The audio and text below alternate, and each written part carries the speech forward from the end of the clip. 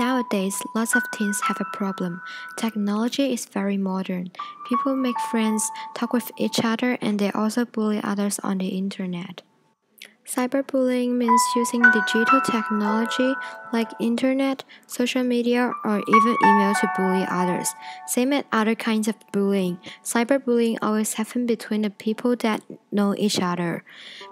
People post other photos, or some intimate things on social media such as Facebook, Twitter, LinkedIn, and so on.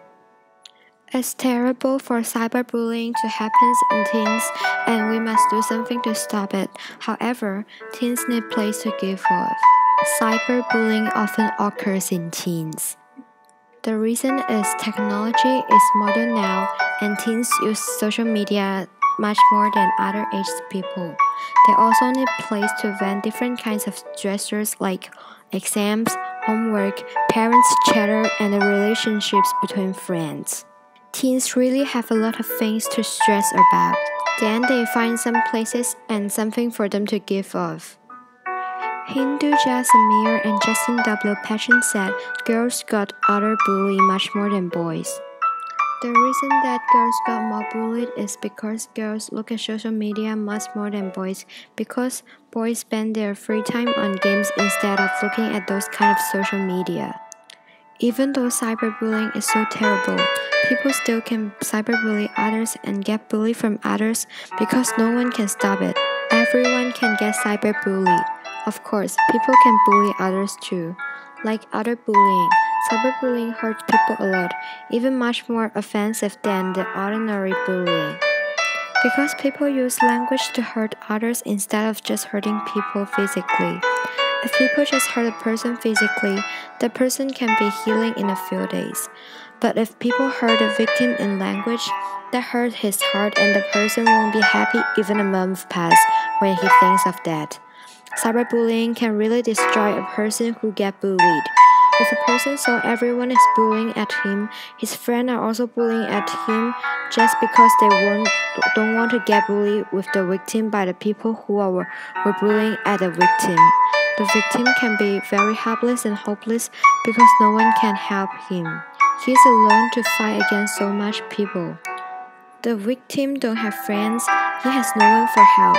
He has nothing to do and he can't do anything.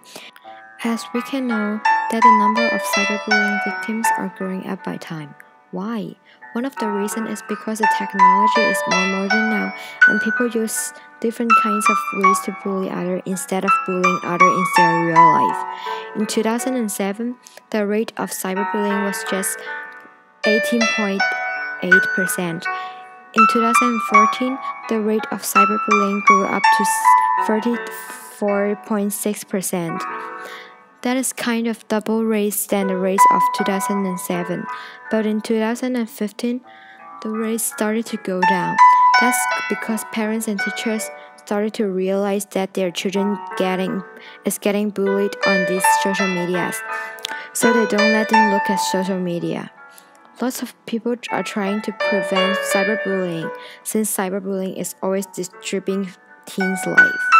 Cyberbullying is such a terrible thing, so the school and parents are always trying to protect their children.